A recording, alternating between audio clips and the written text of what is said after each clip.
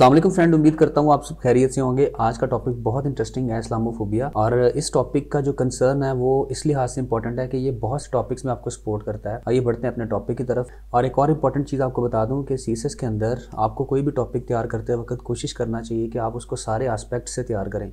और मैनिपुलेशन का आर्ट मैं किसी दिन डिस्कस करूँगा कि आप एक ही टॉपिक से मुख्तलिफ़ रेफरेंस लेके जस्टिफाई कर सकते हैं करंट अफेयर या ऐसे को। या और भी बहुत से सब्जेक्ट्स को, जैसे पॉलिटिकल साइंस है या आईआर है। तो सबसे पहले अगर इस्लामोफोबिया की बात की जाए तो आज हम डिस्कस करेंगे डेफिनेशन और ओरिजिन इसके बाद एक्सप्लेनेशन की तरफ़ बढ़ेंगे। फिर कॉजेज़ इवेंट्स या एपिसोड और इफ़ेक्ट्स और दोस्तों, इसके जो डिटेल नोट्स हैं, वो पीडीएफ में है। यहाँ पे मैंने स्टूडेंट्स को जो है टॉपिक समझाने के लिए जो था, इसको मैंने पावर पॉइंट में डिज़ाइन किया था। इसके जो डिटेल नोट्स हैं विद रेफरेंसेस वो आप मुझसे कलेक्ट कर सकते हैं। व्हाट्सअप नंबर मैंने शेयर कर दिया तो सबसे पहले अगर हम बात करें इस टॉपिक के बारे में तो ये दो लफ्ज़ों का जो है कंपाउंड है, इस्लाम और फूबिया इस्लामोफोबिया जो टर्म है, इसको यूज़ किया जाता है इस्लाम का जो फियर है, जो इस्लाम का एक एप्रीहेंशन पाया जाता है फॉरेन या वेस्टर्न वर्ल्ड में। उसके हवाले से। आपने कोशिश करनी है जब आप कोई सोर्स या उसका जो रेफरेंस कलेक्ट करें तो कोई ऑथेंटिक सोर्स होना चाहिए और सिंपल और स्मार्ट होना चाहिए। जैसे कि ये देखें ऑक्सफोर्ड इंग्लिश डिक्शनरी जो है इस टर्म को डिफाइन करती है इंटेंस डिसलाइक और fear of Islam specially as a political force और हॉस्टिलिटी और प्रेजुडस टुवर्ड्स मुस्लिम्स तो ये बड़ा कॉम्प्रीहेंसिव इसकी डेफिनेशन है कि जो शिद्दत से नफरत पाई जाती है इस्लाम के खिलाफ और एज ए पोलिटिकल फोर्स के तौर पर ये दुश्मनी पाई जाती है या तासुब पाया जाता है मुसलमानों की तरफ़. अब हम ओरिजिन की तरफ़ अगर बात करें तो ये फ्रेंच वर्ड इस्लामोफोबी से निकला है और ये लफ्ज़ यूज़ किया था एक थीसिस में जो कि एलन कोयलन ने नाइनटीन में यूज़ किया था फ़र्स्ट टाइम ये इसका रेफरेंस है नीचे. देन अगर बात करें कॉमन यूजेज की तो इस लफ्ज़ का जो इंग्लिश में कॉमन यूज़ बड़ा 1923 में एक आर्टिकल था the journal of theological studies. वहाँ पे इस टर्म को बाकायदा तौर पे मुतारफ़ करवाया गया और उसके बाद जब रेनीमेड ट्रस्ट की रिपोर्ट 1997 में सामने आई, उसमें बाकायदा तौर पे रिसर्च की गई उन तमाम फैक्टर्स पे जो कि रिस्पॉन्सिबल थे इस्लामोफोबिया के लिए, वो हम डिटेल में आगे डिस्कस करेंगे। इसमें एक इंपॉर्टेंट रेफरेंस आपके साथ शेयर करता चलूँ कि 2004 में कोफी अन्नान जो कि सेक्रेटरी जनरल थे यूएनओ उनका कहना था कि कन्फ्रंटिंग इस्लामोफोबिया इस टर्म को यूज़ किया जाना चाहिए ताकि जो है बढ़ता हुआ तासुब मुसलमानों के खिलाफ उसको रोका जा सके। फिर मैंने यहाँ पे रेफरेंस के तौर पे एक और डेफिनेशन दे दिया थोड़ी सी मोर कॉम्प्रीहेंसिव है। अगर आप इसको ऐड करना चाहें तो अपने मार्क्स इन्हेंस करने के लिए तो वो कर सकते हैं। इसमें से आप थोड़ा सा इसको कट शॉर्ट भी कर सकते हैं। और एक और इंटरेस्टिंग चीज़ के 15 मार्च 2022 को यूनाइटेड नेशंस के रेफरेंस से पाकिस्तान ने एक रेजोल्यूशन पास करवाई on the behalf of organisation of Islamic cooperation जिसके अंदर जो है पंद्रह मार्च को इंटरनेशनल डे कंसिडर किया गया टू कम्बैट इस्लामोफोबिया आइए बढ़ते हैं। इसके जो है क्रिटिकल वैल्यूशन की तरफ़। ये कुछ कमेंट्स हैं। चलो जहरा जमाल, जो कि एसोसिएट है director of Rice university's Boniuk institute for religious tolerance in Houston 62 percent Muslims हैं। वो रिपोर्ट करते हैं कि feeling of religion based hostility and 65 percent felt disrespected by others मुसलमानों के साथ जो बढ़ता हुआ एक तोहन बेस सलूक है बाहर की स्टेट स्पेशली अमेरिका में, उसके वाले से जो रिपोर्ट है जस्टिफाई करती है। अब हम बढ़ते हैं। रनिंग मेट जो रिपोर्ट थी, जिसका मैंने ज़िक्र किया था, इसके अंदर इस्लाम को ओपन और क्लोज व्यू के साथ डिस्कस किया गया। अब जो क्लोज व्यूज़ जो थे इस्लाम के बारे में, जिसकी बेस पे इस्लामोफोबिया पाया जाता था, वो कुछ इंपॉर्टेंट पॉइंट्स हैं कि क्यों जो है इस्लामोफोबिया जो है वो एक मर्ज किया। जिसके अंदर इस्लाम को एक स्टैटिक और अनरिस्पॉन्सिव रिलीजन माना गया, जो कि चेंज को जो है डिफाई करता है और या चेंज से जो है अवॉइड करता है। यानी ये एक एक तरह से जो है स्टीरियो रिलीजन इसको करार दिया गया। सेकेंड रीज़न इसमें ये थी कि सेपरेट है और दूसरे कल्चर या दूसरे रिलीजन्स जो हैं, उनको अपने अंदर इंक्लूड नहीं करता।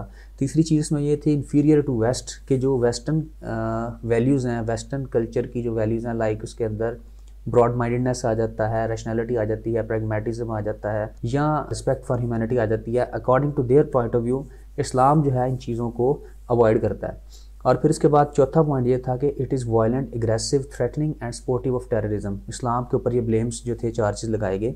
And it is a reason of clash of civilisation पांचवा एलिगेशन ये था कि it is a political ideology and use for political और military advantages then six one was criticism made by west by Muslim are rejected out of hand जितने भी charges मुसलमानों ने waste पे लगाए उनको रिजेक्ट कर दिया गया। सातवां ये था कि हॉस्टिलिटी जो है इस्लाम के लिए वो इसलिए भी जस्टिफाइड है कि मुसलमान जो हैं वो मेन स्ट्रीम सोसाइटी से एक्सक्लूडेड हैं। यानी ये अपनी वैल्यूज़ में, अपनी चीज़ों में बिल्कुल हटके हैं और किसी और के साथ जो है मैच नहीं करते। और लास्ट में था कि anti Muslim hostility is seen as a natural and normal लोगों के दिलों में इस वजह से जो है इनके लिए नफरत पाई जाती है। कुछ इसमें जो थे इस्लाम के लिए ओपन व्यूज़ थे, जैसे कि इस्लाम जो है रिस्पेक्ट करता है दूसरों की और ये लेजिटिमेट डिसएग्रीमेंट को और डायलॉग को जो है अलाउ करता है। लेकिन चूँकि चार्जेस ज़्यादा थे तो यहाँ पे इस्लामोफोबिया की जो काजेज़ थी खुल के सामने आई। अच्छा इस्लामोफोबिया के बारे में दो बड़े ग्रुप्स हैं, दो बड़ी डिबेट्स पाई जाती हैं।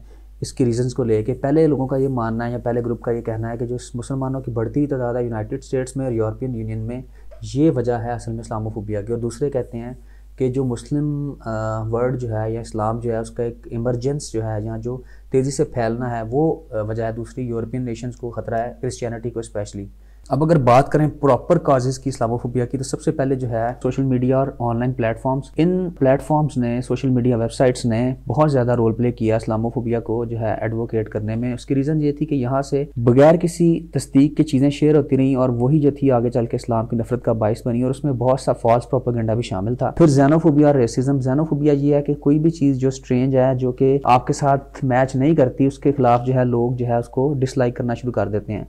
और चूँकि इस्लाम का एक अपना कम्पैक्ट होल है, एक अपनी पर्सनैलिटी है, और रेसिज़म के वाले से भी जो है इस्लाम मुख्तफ रेसिस से डिफरेंट है तो इस वजह से भी जो है इस्लामोफोबिया का कॉन्सेप्ट इमर्ज किया।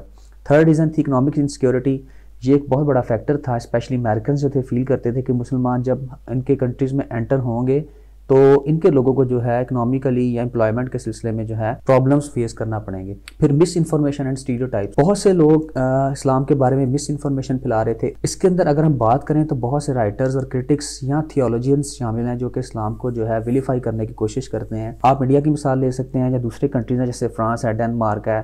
बहुत से प्रीस्ट ऐसे हैं जिन्होंने इस्लाम के अंदर जो है फॉल्स एलिगेशन या चार्जेस इम्पोज किए। फिर propagation of blasphemous and pseudo literature Islamophobia को प्रेड करने में एक बड़ी रीजन इन चीज़ों की थी, जैसे कुछ मुसलमान, सलमान रुश्ती मलाला यूसुफ, जई, विलियम म्यूर और शर्मीन उबैद चनाए जैसे लोग जो हैं, इसमें इन लोगों ने इस्लाम का जो है गलत परस्पेक्टिव और गलत इमेज जो है उसको इस्टेब्लिश किया, जिसकी वजह से जो है इस्लाम उसको बदनाम करने की कोशिश की गई। अगर हम बात करें फर्दर रीजंस में तो पॉलिटिकल इवेंट्स इसकी बहुत बड़ी वजह थे। कुछ जगह पे कुछ इस तरह के इवेंट्स हुए जैसा कि 9/11 के अटैक्स हैं, उसके बाद मैड्रिड ट्रेन बॉम्बिंग्स हैं। इनकी डिटेल मैंने सारी नोट्स में पीडीएफ वाले जो है, उसमें इंक्लूड किया है। फिर London bombings Mumbai attacks Paris attacks Charlie Hebdo shooting जो वो कार्टूनिस्ट था, उसके ऑफ़िस पर जो हमला हुआ। इन सारी रीजन ने जो है इस्लामोफोबिया को और ज़्यादा स्ट्रेंथन किया और इस्लाम को एक टेररिस्ट रिलीजन करार देने के लिए रोल प्ले किया। इसके बाद जो नेक्स्ट बड़ी रीज़न थी, वो थी पॉपुलिस्ट रिटोरिक ये एक बहुत इंपॉर्टेंट रीज़न थी जो कि इस्लामोफोबिया का काज बनी।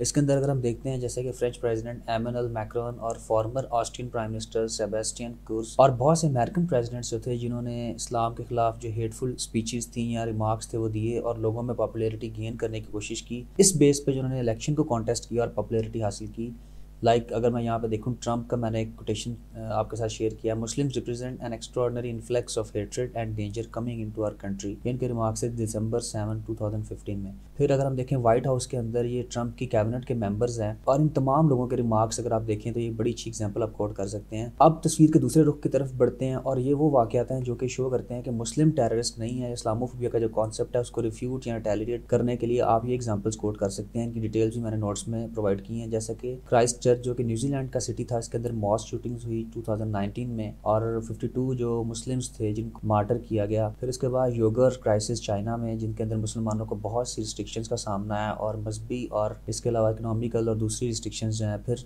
रोहिंग्या क्राइसिस जो कि 2017 में जो फ्लेयर अप हुए और अभी तक चलते आ रहे हैं। फिर इंडियन अट्रॉसिटीज़ कश्मीर और गुजरात 2002 के इसमें सारे के सारे जो एपिसोड है। फिर इसराइल का नकबाज और जेनोसाइड जिस तरह के 1948 की वार के बाद और 1967 में जो सेकंड नकबा था, इसमें बहुत बड़ी तादाद में रिफ्यूजीज थे, इनकी डिटेल मैंने नोट्स में शेयर की है। ये सारे के सारे रेफरेंसेस आपको और भी सपोर्ट कर सकते हैं दूसरे क्वेश्चंस में भी। अभी वो वॉर्स हैं जो कि अमेरिका ने कॉन्टेस्ट की इस्लामोफोबिया की मद में और इसमें जो है दूसरे कंट्रीज़ भी शामिल थे।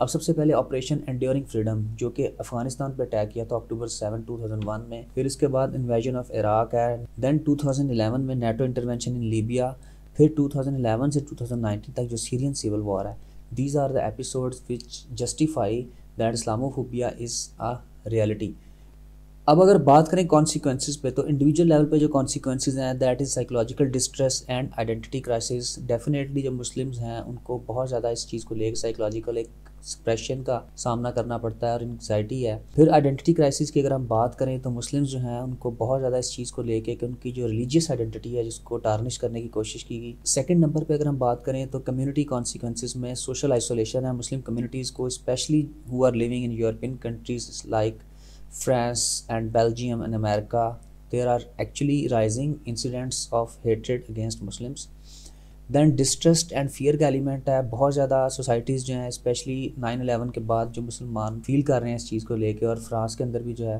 फिर एजुकेशनल और प्रोफेशनल इम्पैक्ट है स्पेशली स्टूडेंट्स जो हैं, उनको एडमिशन लेने में या हमने देखा ख़वान के साथ अक्सर नकाब के वाले से जो यूरोप के अंदर वाक़ात होते रहे। फिर वर्क प्लेस डिस्क्रिमिनेशन है जॉब एम्प्लॉयमेंट के वाले से या अपॉर्चुनिटीज़ के वाले से। फिर इसके कल्चरल और रिलीजियस एक्सप्रेशन डेफिनेटली मुसलमानों को जो है अपने कल्चरल रिस्ट्रिक्शंस फेस करना पड़ती हैं। इसराइल में इसकी बहुत ज़्यादा मिसालें मिलती हैं और इंडिया के अंदर भी और दूसरे कंट्रीज़ के अंदर। फिर सेल्फ सेंसरशिप है सेंसरशिप रिलीजियस हवाले से जो है उनकी मीटिंग्स में स्पेशली जो उनके रिलीजन को प्रोफेस करने के वाले से या रिलीजियस टॉपिक्स को डिबेट करने के वाले से और बाज़ दफ़ा फ्रांस के ऊपर जो है मसाजिद पर पाबंदी लगाने की भी बात चलती रही। अब इसके बाद पोलराइजेशन और सोशल कोहिजन की अगर हम बात करें तो इसकी वजह से जो है सोशल डिवीज़न क्रिएट हुई क्योंकि इसके अंदर जो था एक जहनी खिंचाव और टेंशन जो था उसको क्रिएट किया गया। फिर देन पोलराइजेशन और social cohesion definitely Muslim communities को जो फेस करना पड़ा specially in the west they were tagged and they were blamed और रेडिकलाइजेशन थी इसके रिटेलिएशन के सिलसिले में मुसलमानों को चाहते ना चाहते हुए रेडिकल और एक्सट्रीमिस्ट स्टांस जो था उसको एक्सेप्ट करना पड़ा और वेस्ट की तरफ़ से भी एक रेडिकल एटीट्यूड हमें देखने को मिला और इम्पैक्ट ऑन सोसाइटी ओवरऑल अगर देखें तो इरोजन ऑफ़ सोशल फैब्रिक जो ग्लोबल इमेज का कॉन्सेप्ट था, उसको भी डिस्ट्रॉय किया गया स्पॉयल किया गया और जो सोशल वैल्यूज़ थी, उनको भी अंडरमाइन किया गया। तो ये सारे इफ़ेक्ट्स थे इसके। फिर अगर बात करें ग्लोबल रिलेशंस पे, जो इसका इम्पैक्ट है तो इंटरनेशनल रिलेशंस बहुत ज़्यादा स्ट्रेन रहे इस चीज़ को लेकर इस्लामोफोबिया की वजह से। और अभी भी जो टेंशन है, वो एस्केलेट कर जाती है बास इश्यूज़ में या कंसर्न में, जो कि वार्स में, जो डायलॉग से वार्स की तरफ़ का जो सफ़र था, इराक़ की मिसाल है लीबिया की मिसाल है और कंट्रीज़ जिस तरह ईरान और इसराइल या अमेरिका की टसल है इस्लामोफोबिया की वजह से। फिर रेडिकलाइजेशन और एक्सट्रीमिज़म जो बहुत से एक्सट्रीमिस्ट ग्रुप हैं, वो इमर्ज करते हैं दोनों साइड से और लास्ट के ऊपर जो ह्यूमन राइट्स हैं और सिविल लिबर्टीज़ हैं डेफिनेटली वो बहुत ज़्यादा वायलेट होती हैं in the aftermath of Islamophobia तो ये सारे पॉइंट्स थे दोस्तों। किसी भी एंगल से क्वेश्चन डिस्कस किया जाता है, आप इसमें डिस्कस कर सकते हैं। Thank you for watching hope you like this video comment section में ज़रूर बताइएगा, अपना ख्याल रखिएगा। थैंक यू सो मच अल्लाह हाफिज़।